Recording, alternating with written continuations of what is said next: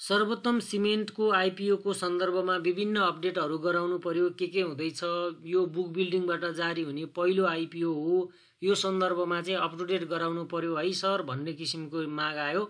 त्यही सन्दर्भमा योभन्दा अगाडि पनि मैले सर्वोत्तम सिमेन्टको आइपिओको बारेमा यसको प्रोग्रेस अहिले कुन स्टेपमा छ के भइराखेको छ भन्ने सन्दर्भमा मैले यहाँहरूलाई जानकारी गराएको थिएँ। यसमा एउटा थप स्टेप अप भएको छ। त्यो सन्दर्भ पनि मैले आज लिएर आएको छु। यो सन्दर्भ के हो भन्दा यसको आइपिओको मूल्य सात सय पचास रुपियाँ निर्धारण भएको भन्ने सन्दर्भमा।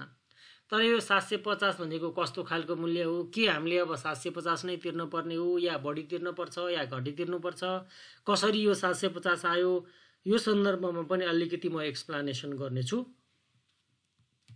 योभन्दा अगाडि मैले बुक बिल्डिङ विधि अनुसार विधि भनेको के हो? यसमा कसरी आइपिओ जारी हुन्छ? यसका प्रोसिडरहरू के के हुन्? एक्ट रुलमा के के रहेका छन् यो सन्दर्भमा यहाँहरूलाई मैले जानकारी गराएको थिएँ। त्यो भिडियो हेर्नु भएको छैन भने आई बटनमा छ माथि हेर्नुहोला तल डिस्क्रिप्सन बक्समा पनि मैले लिङ्क राखिदिएको छु बुक बिल्डिङ विधिको। एकदम मैले हिसाब किताब कसरी गरिन्छ भनेर उदाहरणसहित यहाँहरूलाई मैले दिइसकेको छु। अनि सर्वोत्तम सिमेन्टको आइपिओको सन्दर्भमा पनि यहाँहरूलाई मैले बेसिक कुराहरू भनिसकेको छु कति किता के के कसरी आउँदैछ भनेर। अब यो सात सय पचास चाहिँ कसरी आयो भन्ने सन्दर्भमा पहिला त केही फ्याक्टहरू नै हेरौँ। कम्पनीले बुक बिल्डिङ विधिबाट सेयर मूल्य निर्धारण गरी सर्वसाधारणमा बिक्री गर्ने प्रक्रिया अघि बढाउँदै न्यूनतम मूल्य साढे सात सय रुपियाँभन्दा बढी हुने बताएको छ। पहिलो चरणमा संस्थागत लगानीकर्ताहरूले तोकिएको मूल्य सात सय पचासभन्दा माथिका मूल्यमा बोल कबोल बिड गर्नेछन्। संस्थागत लगानीकर्ताले बोल कबोल गरेको मूल्यमा औसत मूल्य निकालिने र यसरी निकालिएको औसत मूल्यमा दस प्रतिशत र घटाएर सर्वसाधारणमा बेच्ने तयारी सर्वोत्तमको छ। त्यसमध्ये चौबिस लाख किता संस्थागत लगानीकर्ता आठ लाख किता स्थानीय प्रभावी तिन लाख किता कम्पनीको कर्मचारीलाई र पच्चिस लाख किता अन्य सर्वसाधारणलाई बिक्री गरिनेछ। अब तपाईँहरूलाई म एउटा यहाँ जानकारी दिन चाहन्छु। कस्तो भयो भन्दा तपाईँहरूलाई म यो बुक बिल्डिङको एउटा प्रोसेस बताउँछु। त्यसपछि तपाईँले बुझिहाल्नुहुन्छ।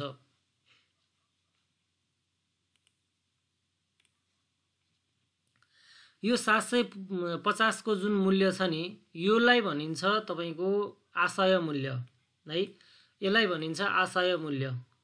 यो आशय मूल्यको बिस प्रतिशत बढीसम्म र बिस प्रतिशत घटीसम्म। यो प्राइस निर्धारण हुन्छ।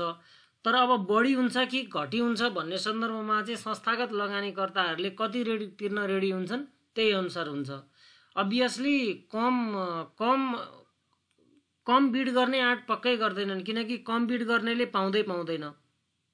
त्यही भएर बढी नै बिड गर्छन्। सो यसको बिस पर्सेन्ट बढी हुने सम्भावना छ।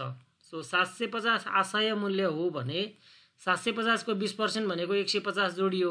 दस पर्सेन्ट भनेको पचहत्तर प्लस एक सय पचास भनेपछि दुई शून्य सात एक आठ एक नौ।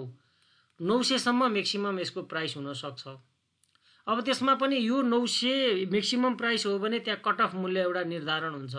सबैले नौ सय त तिर्न तयार हुँदैनन् होला। कसैले आठ सय भन्लान् कसैले सात सय पचास भन्लान् कसैले सात सय पचहत्तर हुन्ला भन्लान्। यो नौ सयदेखि नौ सय अधिकतम मूल्य भयो घटीमा माइनस एक सय पचास भनौँ होइन सात सय पचासबाट माइनस एक सय पचाससम्म यो बिचको मूल्यबाट एउटा औसत मूल्य निकाल्छन् त्यसलाई कट अफ प्राइस भनिन्छ बुक बिल्डिङ प्रोसेसमा त्यो कट अफ प्राइस मानव आठ सय आयो। यो कट अफ प्राइस आठ सय आयो भने संस्थागत लगानीकर्ताले यही आठ सय रुपियाँमा यो आइपिओ लिनुपर्ने हुन्छ। तर हामी सर्वसाधारण लगानीकर्तालाई चाहिँ यसको दस पर्सेन्ट माइनस हुन्छ। कति हुन्छ भन्दा असी रुपियाँ माइनस हुन्छ सात सय बिस रुपियाँ हामीलाई पर्छ। यदि औषध मूल्य आठ सय आयो भने हामीलाई सात सय बिस पर्छ।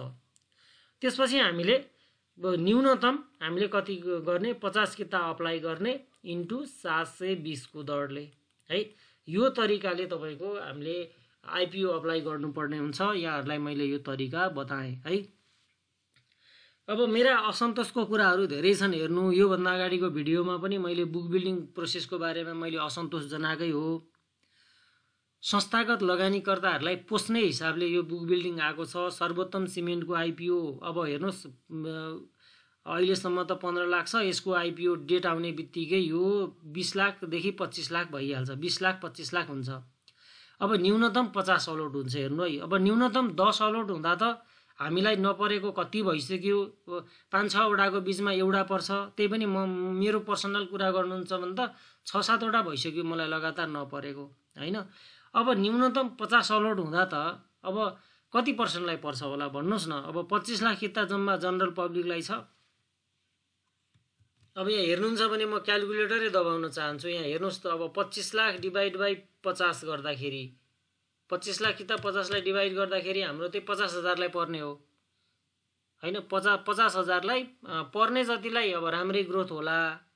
होइन तर यसले पुँजी बजारलाई चाहिँ अलिकति खुम्च्याउने मान्छेमा अलिकति फ्रस्ट्रेसन ल्याउने पर्दै नपर्ने चान्सेसहरू बढ्ने खालको घटनाहरू पनि हुँदाखेरि चाहिँ मेरो अहिले पनि माग के हो भन्दा यो अलटमेन्ट जुन न्यूनतम पचास हुन्छ यसलाई घटाएर बरु धेरैजनालाई छरियो भने धेरैजनाले पुँजी बजारबाट केही न केही लाभ लिन सक्छन् जस्तो चाहिँ मलाई लाग्छ।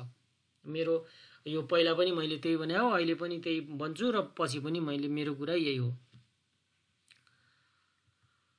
अनि अर्को सन्दर्भ भन्ने हो भने यो ठ्याक्कै अलिकति स्टुडेन्ट्सहरूको लागि अलिकति एकदम सर्वसाधारणहरूको लागि चाहिँ अलिकति खर्च वहनको क्षमता पनि बढी आवश्यक हुन्छ। किनभने अहिले पचासको लागि सय रुपियाँको लागि त पाँच हजार पर्थ्यो भने अब मानौ न पचास इन्टु सात सय बिस गर्दाखेरि तपाईँको लागि एउटा आइपिओको लागि तपाईँले एरेन्ज गर्नुपर्ने हुन्छ।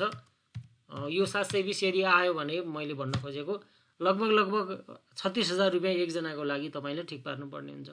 है यो तरिकाले आइपिओ आउँदैछ।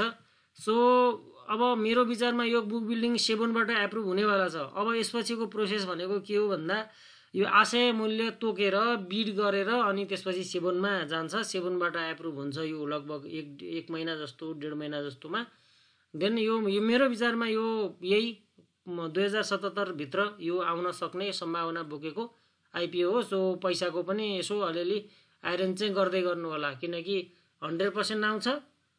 तपाईँलाई तिसदेखि चालिस हजार तपाईँसँग पैसा हुनैपर्छ एउटाको खातामा। सो तिनजनाकोबाट अप्लाई गर्न चाहनुहुन्छ चारजनाकोबाट भने लगभग लगभग एक लाख रुपियाँ ठिक पार्नै पर्छ है? र यो आइपिओ नोटिस हुँदाखेरि तपाईँले कति कति रुपियाँ तपाईँको लागि पर्छ भन्ने कुरा चाहिँ उनीहरूले नै तोकिदिएर पठाएको हुन्छ। यो हामीलाई बिडिङ सिडिङ यो के कसो यो ठुला ठुलाको काम हो हेर्नुहोस्। सर्वसाधारणलाई हामीलाई यो कुनै स्पेस पनि दिएको छैन हामीलाई कुनै सहभागिता पनि दिएको छैन। हामीलाई ल तिमीहरू यतितिर भनेर दिन्छन् हामी त्यति तिर्न तयार भएकाहरूले अप्लाई गर्ने हो है त? बाँकी कुरा म फन्डामेन्टल एनालिसिसहरू यसको प्रोग्रेसहरू लिएर उपस्थित हुनेछु अर्को भिडियोमा। धन्यवाद।